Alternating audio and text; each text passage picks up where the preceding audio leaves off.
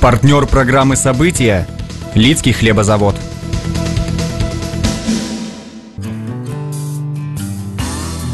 Всегда ароматная и свежая продукция. Выпеченная с любовью, по традиционным и новым рецептам. Лидский хлебозавод. Лидский хлебозавод.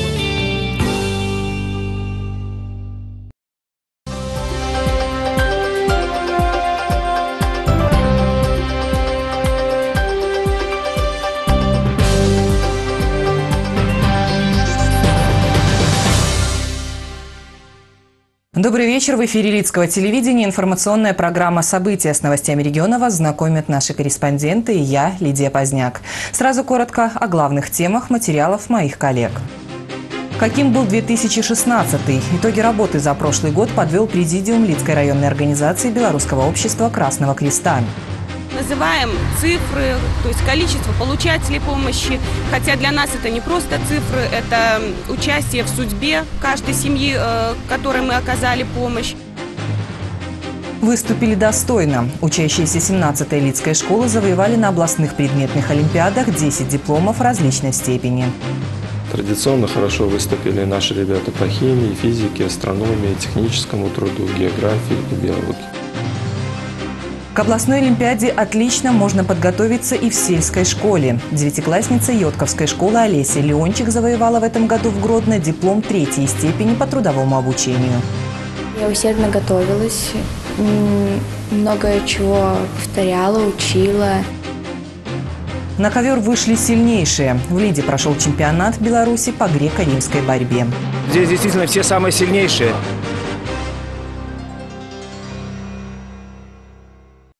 Сейчас обо всем по порядку. С 1 февраля в Беларуси вырастут пособия по уходу за ребенком в возрасте до трех лет. С января 2013 года их размер зависит от количества детей в семье. На первого ребенка выплачивается 35% среднемесячной заработной платы по стране. На второго и последующих детей 40%. Пособие на ребенка-инвалида составляет 45% среднемесячной заработной платы независимо от очередности рождения этого ребенка в семье.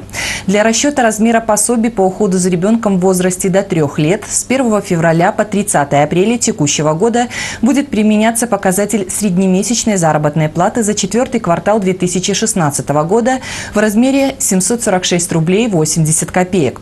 Таким образом, в указанный период на первого ребенка размер ежемесячного пособия составит 261 рубль 38 копеек. На второго и последующих почти 299 рублей.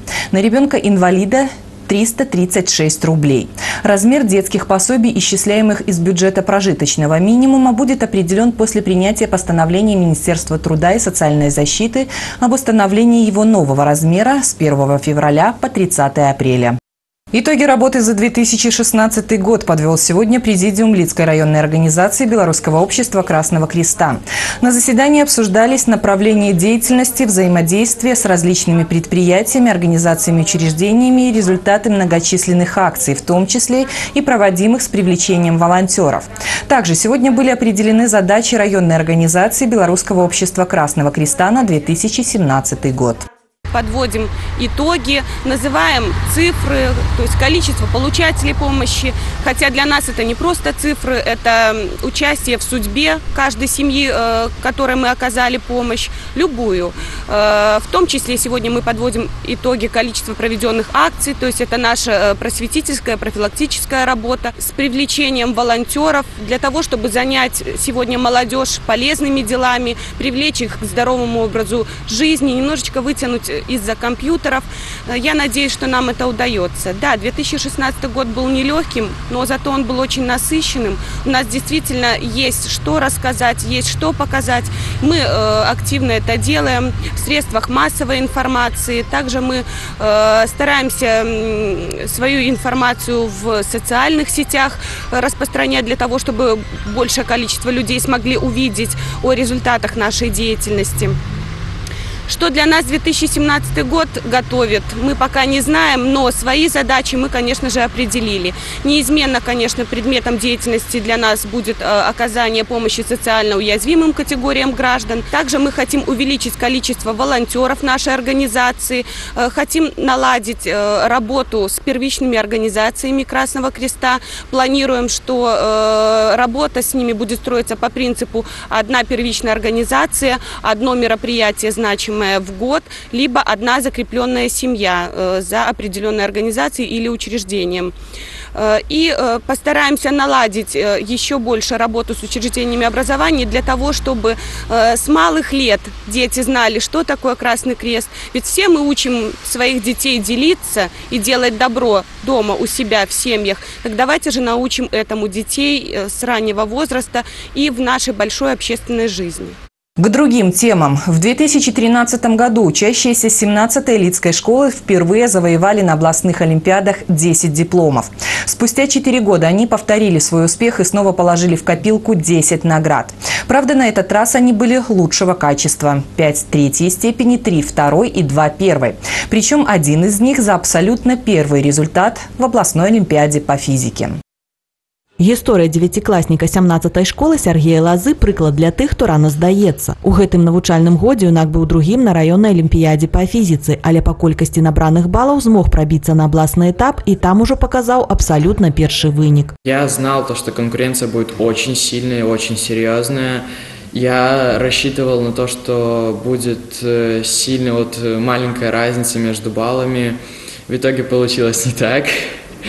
Э, но конкуренция все равно была очень большая, и я очень сильно готовился к этому. Каждый день занимался по часов 8. В принципе, я делал больше акцент на практику, потому что понимал то, что ей я могу очень спокойно поднять баллы. Да Олимпиады Сергей рыхтаваўся под кіраўніцтвам настаўніка фізікі Дмітрия Тежика. За 16 гадоў працы ў школе гэты педагог дапамог стаць пераможцам і прызёрам абласной рэспубліканскай алімпіяды па фізіцы або астраноміі не аднаму вучню. Вось і сёлета акрамя Сергея Лазы згодна з узнагародамі вярнуліся яго 11класнікі Владзіслаў Фішбайны Олег Жукоўскі. У аднаго дыплом другой ступені па астраноміі, а ў другога трэцяй па гэтым жа прадмеце. Па меркаванні Дмітрия Александровича для поспеху вучню патрэбны талент матывацыя і працавітасць у сітуацыі с сергеем усе гэтыя складальнікі ёсць я думаю залог у любого успеха э, в том числе у сергея это конечно 10 процентов таланта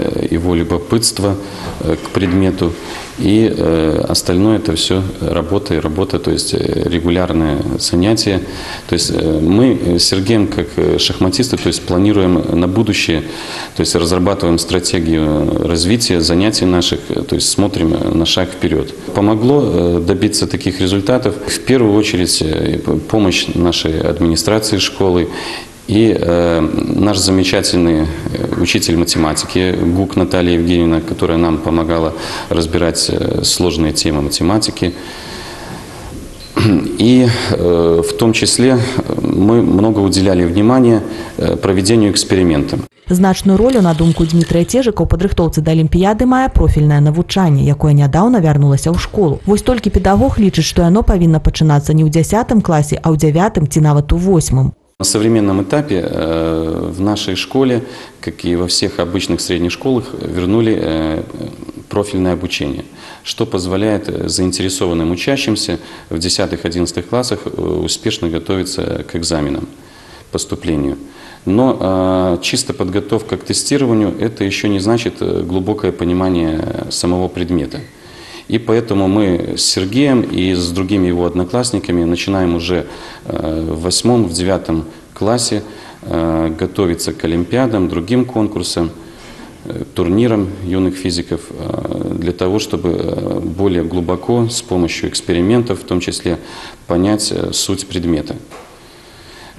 Я считаю, что в нашем городе должны быть созданы для таких учащихся специальные центры подготовки одаренных ребят. Наведваць цэнтр падрыхтоўкі адораных дзяцей мог бы дзевяцікласнік Антон Пышынскі. Праўда, яго ў адрозненне ад Сергея Лазы больш прываблівая хімія. Любоў з гэтым прадметам у хлопчыка шостага класа. У сёмым ён упершыню праверыў свае веды на раённай алімпіядзе і хаця выступаў за дзявяты клас заняў трэцяе месца. На наступны год Антон перамог на раённым этапе, паказаў абсалютна першы вынік на абласным і заваяваў дыплом другой ступені на рэспубліканскім. Сёлета ён таксама атрымаў дыплом першай ступені на абласной алімпіядзе і зараз рыхтуецца да рэспубліканскай. На Олимпиаде областной по химии была довольно достойная конкуренция. Я рад, что э, занял первый диплом среди таких э, умных детей. Я не собираюсь на этом останавливаться и хочу также улучшить свои результаты, показав себя на республике. Хімія для Антона прадмет, можна сказаць, сямейны. Яго старэйшая сястра Маша таксама паспяхова выступала на алімпіядах, а ў дзявятым класе з рэспубліканскай алімпіяды па хіміі прывезла дыплом трэцяй ступені. Яе, як зараз і Антона, да інтэлектуальных спаборніцтваў рыхтавала Жанна Лябецкая. Як педагог яна не можа нарадаваць радавацца, што на яе шляху сустрэўся Антон. Пра такога вучня, кажа Жанна Сцяпанаўна, марыць кожны настаўнік. Антон очень талантливый, одаренный мальчик. У него развито чувство химического вещества, у него специфическая логика рассуждений, но еще он очень трудолюбив. Когда ученики спросили у своего учителя у Менделеева, Дмитрий Иванович, вы гений, он ответил, что я не гений, я очень много тружусь. Вот это я хочу отнести своему ученику Пушинскому Антону и пожелать ему в дальнейшем значит, совершенствуя свои знания, умения по химии, чтобы они, конечно, помогли ему в, будущей, в будущем выборе профессии. Антон Пышынскі марыць звязаць жыццё з медыцынай, а ў гэтай сферы без хіміі ніяк. Таму ён і аддае прадмету па некалькі гадзін на дзень. Наведвае алімпіядную школу і займаецца з настаўніцай індывідуальна, а потым яшчэ і дома самастойна. Жанна Лябецкая ўпэўнена, у Антона ўсё атрымаецца. І гэта не інтуіцыя, гэта шматгадовы вопыт. Жанна Сцяпанаўна ў педагогіцы 30 гадоў, яна мае дзясяткі пераможцаў і прызёраў абласных і рэспубліканскіх алімпіяд і мноства вучняў, якім хімія дапамагла зрабіць прафесійны выбар. Олимпиады, конечно, это хорошо. Они помогают детям при поступлении, они воспитывают силу воли, выносливость, они дают знания. Но самое главное – это знания дать детям и увидеть потом своих детей уже в будущем. Вот мои многие ученики, например, учительница даже есть в первой школе, учитель, преподаватель Рахус Настя, это моя ученица. Ученик, например, Жуковский Юра, врач, вот он дает интервью над проблемами медицины. Поэтому мне очень много детей, я горжусь ими. Акрамя фізікі, хіміі, астраноміі, сёлета вучні 17 школы заваявалі на абласных алімпіядах дыпломы па геаграфіі, біялогіі, працоўным навучанні і атрымалі 5 пахвальных водзываў па хіміі, геаграфіі, біялогіі, інфарматыцы. Такі вынік адзначае кіраўнік навучальнай установы не стаў нечаканым, бо ў школе ёсць усё, каб мець дасягненні. Таленавітыя вучні, прафесійная педагогія і добрая матэрыяльна-тэхнічная база. Все, что зависит от администрации, мы пытаемся, конечно, сделать это улучшение материальной базы школы, то есть все то оборудование, которое необходимо и мы можем а, предоставить нашим педагогам, мы его предоставляем. А, ну и, конечно, огромнейшая заслуга – это педагоги, а, педагогов. Они добиваются этих результатов не первый год, поэтому я хочу отметить, кроме уже упоминавшихся педагогов, как Лебецкая Жанна Степановна, Тежика Дмитрия Александровича, Губейка Светлана Андреевна, у которой на Э, этой Олимпиаде трое учащихся заняли призовые места. Веретила Ирина Казимировна, э, Лимонтович Казимир Казимирович, Санюк Янина Эдмундовна. До республиканских Олимпиад зараз рыхтуецца 36 лідскіх школьнікаў. У тым ліку Сергей Лаза, Антон Пышынскі, Владислав Фішбайн, Татьяна Вянскович, Кацярына Баран і Ірына Янцевич 17 школы. Выступаць яны будуць у складзе каманды Гродзенскай вобласці, з якім вынікам вернуцца дадому стане вядома ў канцы сакавіка. Республиканские олимпиады по учебным предметам пройдут в конце марта. Лида в этом году впервые будет принимать участников Олимпиады по математике. Неплохой результат показали в этом году на областных предметных олимпиадах и учащиеся наших сельских школ. Представители Йотковской, Ваверской и Детвянской завоевали по одному диплому третьей степени. Оксана Банцевич побывала в агрогородке Йотки, где встретилась с девятиклассницей Олесей Леончик и ее учителем и поинтересовалась, легко ли попасть в призеры областной олимпиады по трудовому обучению. Для Алисы Леончик диплом третьей степени на областной олимпиаде по трудовому обучению – значительное достижение, ведь до сих пор ее самым большим успехом было третье место на районной олимпиаде в 2015 году. Но, несмотря на это, достойное нынешнее выступление в Гродно ни Олеся, ни ее учитель Тереса Бутурля не считают случайным. Просто ежедневная подготовка в школе и многочасовая дома в конце концов дала отдачу. Я к этому результату шла уже несколько лет. Я готовилась на протяжении много лет уже.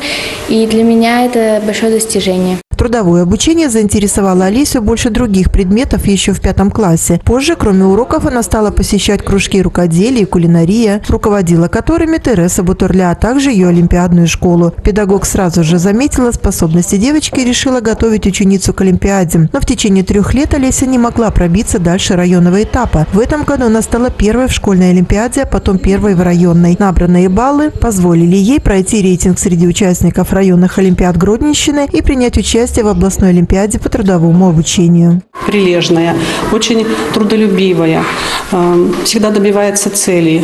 Э, мне повезло, что ученица сама э, с большим желанием добивается результата. Она и на уроках совершенствовала свои навыки, и на занятиях кружка активно работала, на занятиях кружка рукоделия, кружка кулинария, а также мы еще занимались в Олимпиадной школе в этом году.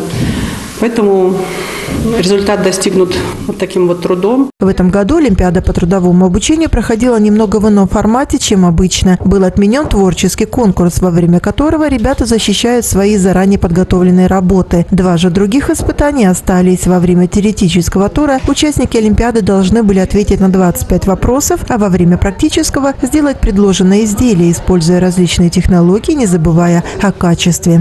На практическом туре нужно было изготовить салфетку с обработкой углов по диагонали и вышивкой. На теоретическом туре нужно было ответить на вопросы и решить задачи. Тереса Бутурля работает в школе уже 26 лет. За это время она подготовила ни одного призера района Олимпиады по трудовому обучению. Но вот на областном этапе удалось завоевать награду только Олесе Леончик. Диплом третьей степени вдохновил на работу и педагога, и ученицу. А это значит, в следующем году они постараются подняться еще выше. В э, Олимпиадах по трудовому обучению мы ежегодно и активно участвуем. Те годы у нас были результаты в районном этапе. Э, в этот год мы заняли первое место в районной Олимпиаде и вышли на третий этап Республиканской Олимпиады по трудовому обучению. Диплом завоеванный Олесей значимая награда для всей Йотковской школы. Последний раз ее ученики возвращались с наградой с областной Олимпиады в 2014 году. Тогда диплом третьей степени по белорусскому языку получила Виктория Акола. А вот по трудовому обучению последний раз награды областного уровня учащиеся Йотковской школы имели в 2013 году. Диплом третьей степени тогда завоевал Ян Покуц. Руководство учебного заведения говорит, что и оно, и педагогический коллектив делают все, чтобы работать на результат. Однако конкуренция настолько большая, что пробиться в лидеры сложно. В середине этой недели в Беларуси снова резко похолодает, но ненадолго. Уже завтра по Гродненской области в течение суток будет от 2 до 7 градусов мороза. В четверг ночью столбик термометра может опуститься до минус 17, днем будет 4,9 со знаком минус. В пятницу ночью прогнозируется 11 градусов мороза, а днем будет от минус 3 до плюс 2. Снег в основном будет идти в ночные часы.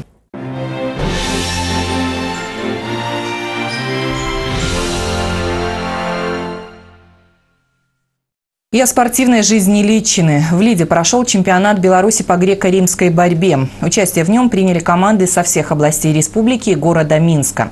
Всего на ковер выходили более сотни спортсменов. Данное соревнование – отбор борцов греко-римского стиля для участия в чемпионате Европы и мира.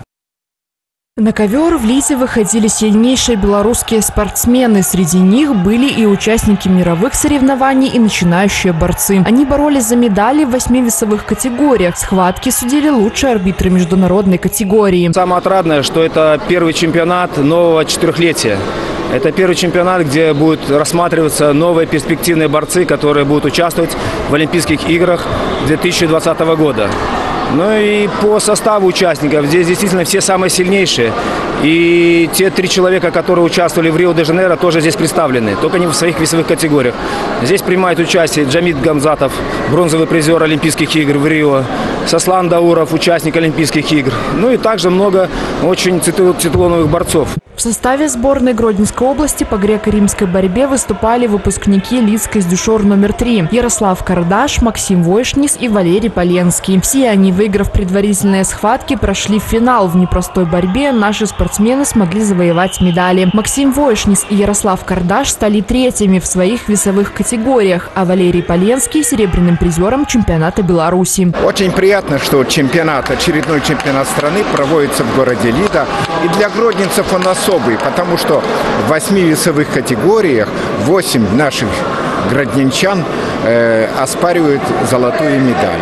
В том числе и есть уроженцы, которые родились, которые начали заниматься греко-римской борьбой. Это в Лидском районе, в городе Лида. В общекомандном зачете сборная Гродненской области по греко-римской борьбе в чемпионате Беларуси показала лучший результат и заняла первое место. Наш выпуск завершен. Встретимся завтра в 19 часов на Лида ТВ. До свидания.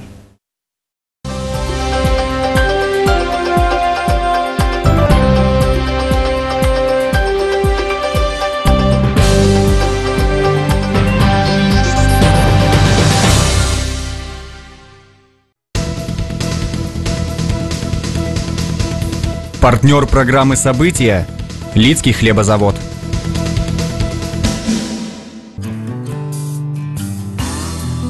Всегда ароматная и свежая продукция. Выпеченная с любовью, по традиционным и новым рецептам. Лидский хлебозавод. Лидский хлебозавод.